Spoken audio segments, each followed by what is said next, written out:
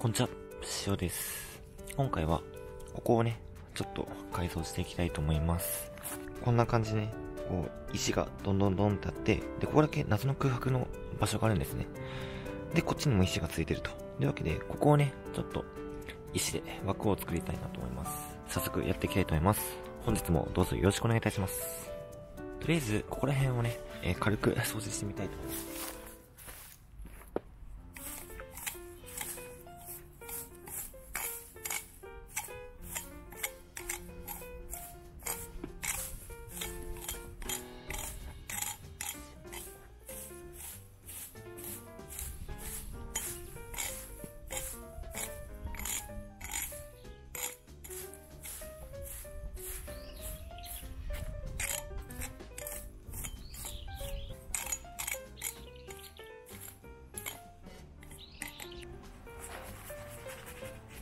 したら、真ん中に石が出てきました。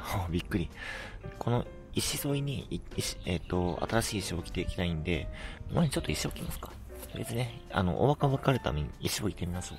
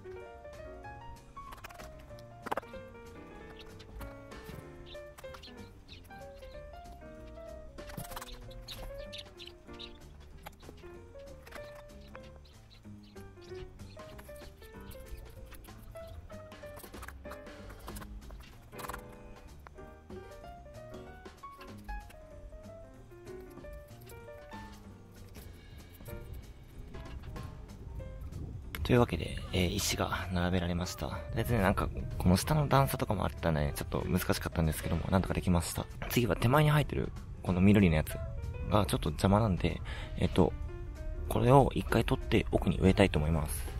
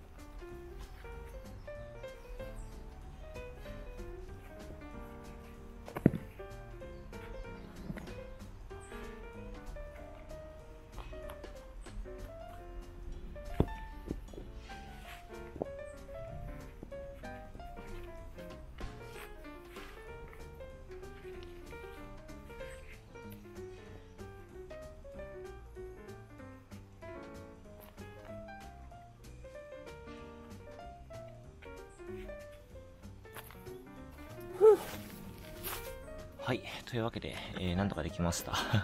こんな感じで青い石をね、こうずらーっと並べて、で、ここがね、もともと、えー、緑で覆われてたんですけども、えー、ちょっと改造してね、えー、こう、丸くできたと思います。ちょっとこの辺の緑がね、まだ気になるんですけども、まあ、ご愛嬌ってことで、はい、これはね、まあ、アクセントとして、ここに飾っておきたいと思います。とりあえずね、ここだけ、ここの緑は、えー、全部ね、こっちに移動することができました。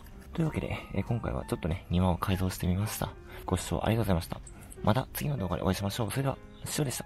バイバーイ。